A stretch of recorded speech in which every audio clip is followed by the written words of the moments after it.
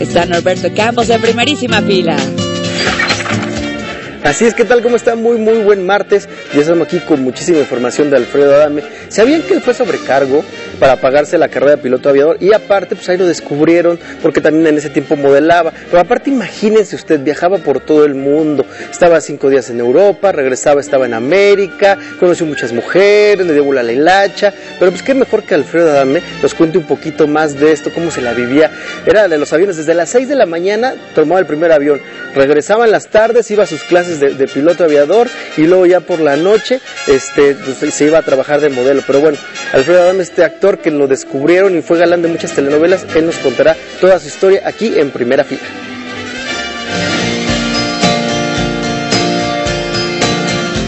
La pasión de Alfredo Adame siempre han sido los aviones. Él nos cuenta lo que hizo para poder cumplir su sueño. Eh, ya sé qué voy a hacer. Me voy a meter de sobrecargo para estudiar aviación. Me metí de sobrecargo a Aeroméxico y empecé, entré en febrero de 78 y en abril de 79 empecé a estudiar aviación en la Academia del Aire. El dueño era un capitán Federico Noltenius, que era este, piloto de Aeroméxico, y empecé a estudiar la carrera.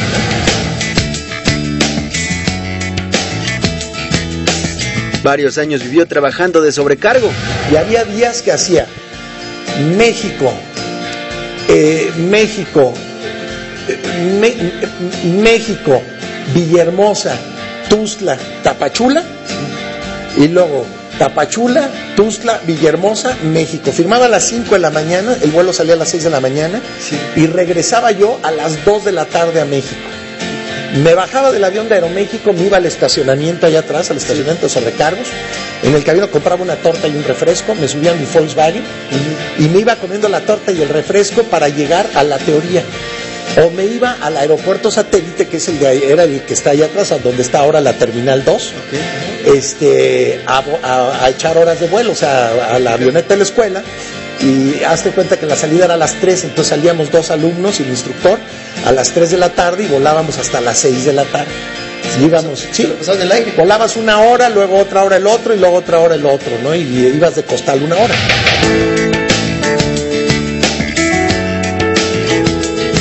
A la par, Alfredo modelaba. Yo lo que hacía también, aparte de la volada, que también ahí gané muy buena lana para, pagarme la carrera, fue modelar. Hacía mucho comercial de televisión, hacía mucho... Era yo muy delgado, muy marcado, que William Levy, ni qué, ni qué, nada, David Cepeda, no. no, estaba muy delgado y muy marcado. Entonces hacía mucho comercial de televisión. ah, bueno, porque yo tenía una novia en Aeroméxico, Olivia Suárez, que, que en paz descanse, falleció. Este, ella era modelo, una muchacha hermosa, guapísima, con un cuerpazo, y modelaba y hacía mucho comercial de televisión. Un día, aparte de ser sobrecargo, un día este, me dice, oye, vamos a un, vamos a un, a un casting a la calle de, eh, creo que se llama Magdalena o algo así, en la del Valle, de una empresa que se llama Cinefex. Total, llegamos a la empresa y sale una rubia enorme, este, muy guapa, y de repente le dice, hola Olivia, sí, con tono. Este, hola Olivia, este, ¿vienes al casting? Sí, pues sí, este, sí, Patti, no sé qué. Y, él, y este, agarra le dice, y le digo, no, yo nada más vengo de Mirón, vengo a traerla, a acompañarla. No, no, no, pues pásale tú también al casting, ¿no? Total, me mete al casting y este, hago el casting, estaban buscando modelos para un comercial de una, una, una, una campaña navideña del de, brandy, de un brandy, del mejor. ¿Qué crees? Este, ¿Qué pasó, Carlos? ¿Cómo estás? Ah, bueno, cuando me dijo Carlos Jiménez, y dije, ¿Carlos Jiménez? ¿Quién es Carlos Jiménez? Me dice, yo, bueno, el, de la agencia de modelos. Ah, le digo, ¿cómo estás? Perdón, Carlos, no estoy acostumbrado. ¿Qué pasó? Me dice, ¿qué crees? te quieren para los siete comerciales, o sea, el protagónico de la campaña. Te vas a echar los siete comerciales. Y este, pues ahora, oye, ¿cuánto cobro? Que no, yo te digo ya todo el rollo. Total, esos fueron los primeros comerciales. Y de ahí, de ahí para el real. Te quiero decir que en este país no hay nadie que haya hecho más comerciales de televisión que yo. De, de, de, refrescos, de todo. bueno, llegué a tener 12 comerciales en un mismo día. Eso sí, en esta época, ¿cómo se divirtió? En esa época ya estaba en el DC-8, volaba a Montreal, a Toronto, a Quebec, a Bogotá, a Caracas, a Panamá. Pues, imagínate, llegábamos en, Caracas, llegábamos a- al Macuto Sheraton, que estaba en la playa.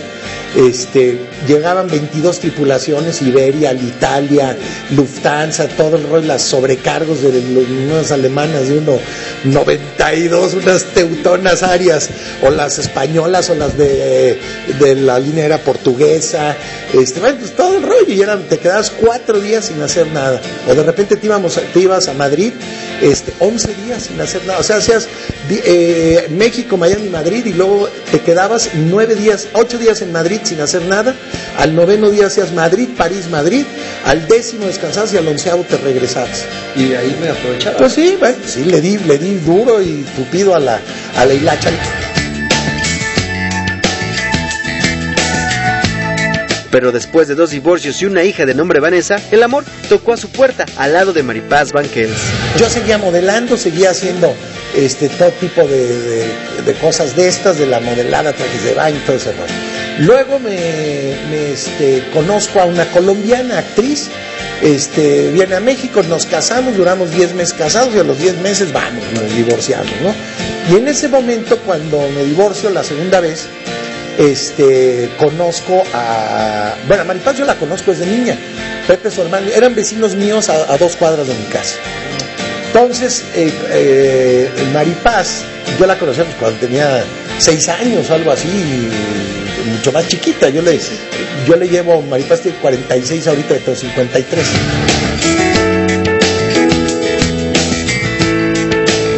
Con la también actriz lleva 20 años de casado y tres hijos, Diego, Alejandro y Sebastián. Con Maripaz llego a, a Balada por un Amor, voy a la primera locación a Querétaro, al Hotel Real de Minas, llego al DS y de repente veo una chava en minifalda, cuerísimo que me encantó.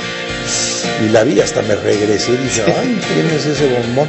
Y entonces un día venía yo a México y este, venía yo a México y yo siempre a las locaciones me llevaba mi coche. Y entonces ella se quería regresar a México y de repente me dijo, oye, ¿no me das un aventón? ¿A qué horas te regresas mañana? No, pues a las 9 de la mañana desayuno y me voy. Total, a las 9 de la mañana bajé al lobby ahí en el hotel este, eh, Holiday Inn de, de Querétaro, bajo, desayuno y me arranco a México. Y cuando ya estaban entrando a la carretera que me acuerdo, chin, Maripaz, se me olvidó. Pues total, ya me regresé y le dije que había ido a cargar gasolina, este, iba de shorts, le fui viendo las piernas todo el camino. Total, le dije que jugaba tenis y me dijo que quería aprender a jugar tenis. Se fue y se compró todo su equipo y todo el rollo y nunca le enseñé a jugar tenis.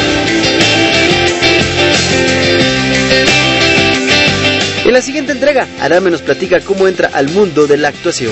¿Cuánto ganas en Aeroméxico? Tanto, un super alto ejecutivo de Televisa, por no decir el mero mero. Este, bueno, el mero mero que manejaba Telenovelas. Entonces me dijo, ¿cuánto ganas en Televisa? Pues gano tanto, pues yo te doy cinco veces tanto y te doy casa, te doy coche y todo y te quedas.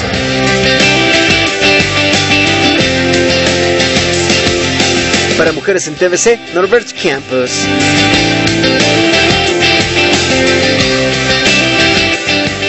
Oigan, pues qué envidia de la buena de Alfredo Adame, se la pasaba viajando, mujeres, ya tuvo dos divorcios, pero bueno, sentó cabeza y ahora con Maripaz Banqués lleva 20 años de casados y tres hijos, ¿qué tal? Y bueno, en la entrega de que veremos el día de mañana, habla Alfredo Adame cómo llega a Televisa, quién lo descubre, porque empezó como conductor, no como actor, lo jalan los productores de telenovelas y ahí Alfredo Adame nos contará cuál fue su primer telenovela, con quién actuó y la suerte que tuvo, ¿no? Lo que se llama el destino, porque solamente iba por cinco capítulos y de repente en toda la telenovela. Pero bueno, él es Alfredo Adame, mañana seguiremos con esta historia.